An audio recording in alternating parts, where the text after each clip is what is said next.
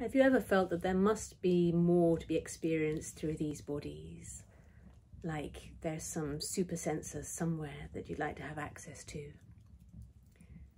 Do you want to know more about yourself and who you truly are and the mythic forms that are living through you? Would you like to feel more connected with other bodies, human and otherwise? Experiencing communication with earth, plants, animals and elements, connecting and aligning with the greater forces that move us all. My name is Red K Elders, and I'm so humbled and thrilled to soon be joining the esteemed group of teachers at the Blackthorne School with my course called Somatic Sorcery. I'll be offering seven weeks of guided experiential explorations into our bodies. And we'll be opening and expanding more of our sensing capacities.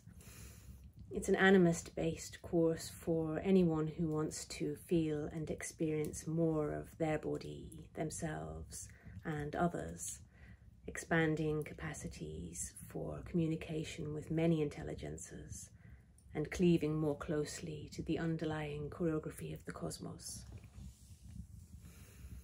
I'll be sharing my personal techniques and practices that I use to attune to other bodies for healing and nourishment and to access flow states for creative inspiration and divine expression.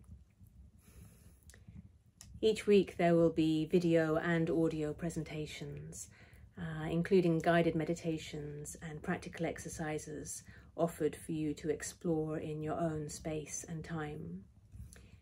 Also, a big part of the course will be the opportunity to share and feedback with others and witness others too in a well held and supported Facebook group.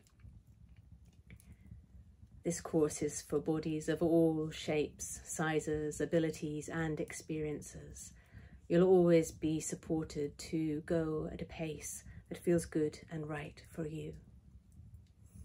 So if you'd like to experience more of these wondrous bodies, then sign up at the Blackthorne School today.